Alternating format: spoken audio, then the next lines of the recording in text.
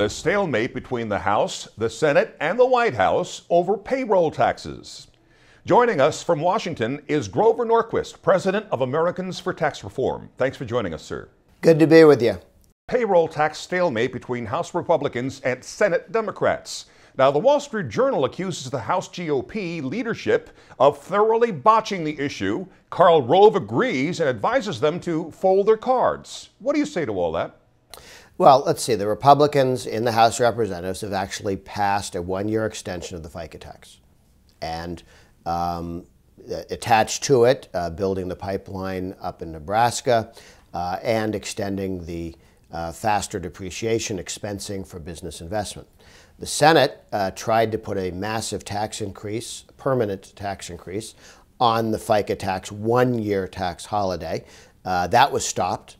Uh, they couldn't really agree on how to cut spending to pay for the $100 billion lower tax uh, bill for the uh, uh, FICA tax one year holiday.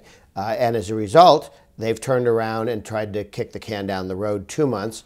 Uh, I think it's a strictly political move so that Obama can go up at the State of the Union and say, ah, I told you those Republicans didn't want to extend the FICA tax. The House, run by Republicans, has passed into law a one year extension of the FICA tax holiday. The Democrats in the Senate have not.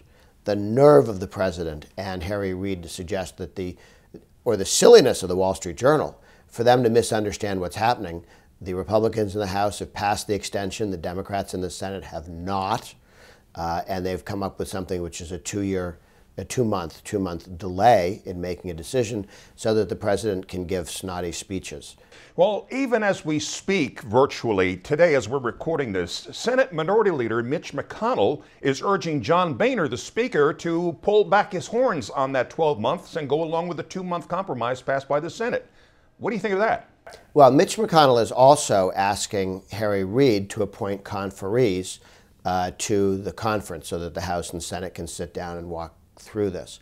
Um, I think that that's important. I wish that Mitch McConnell would spend as much time recommending conferees as that he does telling the Republicans to accept the Senate bill. You know, this my way or the highway, you have to do what I want or you're not doing anything, I think is the wrong approach. Um, on the other hand, I mean, we have a real challenge here. The President of the United States wants to raise taxes. He doesn't want to cut spending. What the Republicans in the House did was they had a significant spending cut uh, to quote unquote pay for the $100 billion one time tax uh, reduction. Uh, I doubt the Senate is going to do that unless they're pressured to, and that's why they want to wait two months and, and try and get out from under the pressure. Now, Rove does have one interesting strategy. He says the best thing for House Republicans to do now is to pass the Senate's two month extension and then make the case that Democrat obstructionism is the reason there's not a full year extension agreement. Does that make sense? Uh, you can. Uh, the challenge is that you play a little bit into the left's narrative. Uh, and uh, I think the President of the United States wants to talk about everything other than his overspending and his tax increase plans. I think we should force him to speak about those issues now. Do you think Senate Democrats are serious about extending the payroll tax cuts since they were only uh, they only would do two months as opposed to a full year, which is what Obama supposedly wanted, a full year? Neither Ob President Obama or Harry Reid and the Democrats in the Senate care one whit about extending the one year uh, tax holiday for FICA taxes. They hoped to say, we're for cutting taxes on low income people and we want to raise taxes on high income people. Uh, and once they were told that the votes were not there to raise taxes on small businesses and, uh, and higher income people, uh, they lost all interest in the whole thing. They were trying to promote class hatred and, and division uh, based on how much money people earn.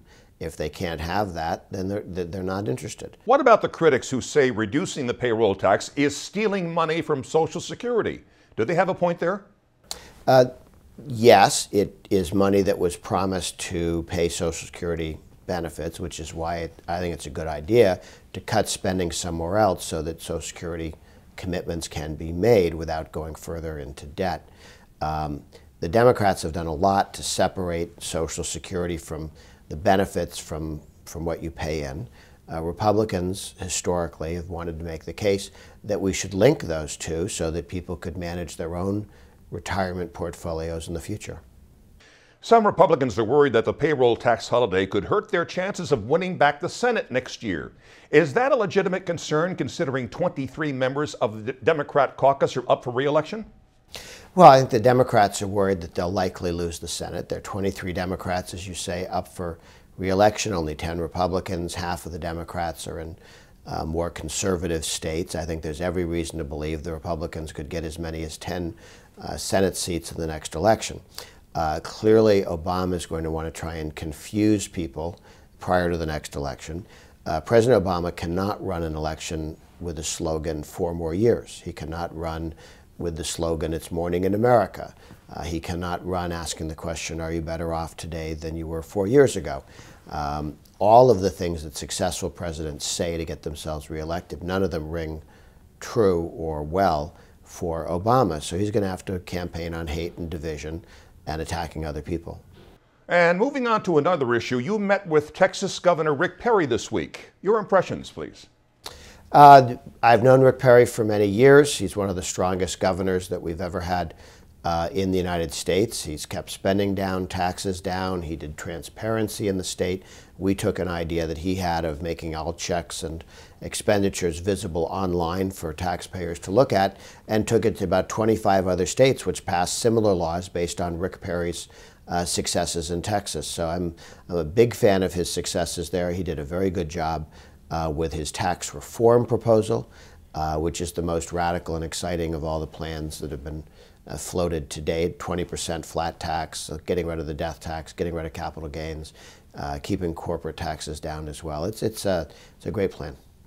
About a month ago, you said on Meet the Press that both Mitt Romney and Newt Gingrich are tax reformers and either could get your endorsement. Now, has anything changed since that, and who right now is on track to pick up your endorsement?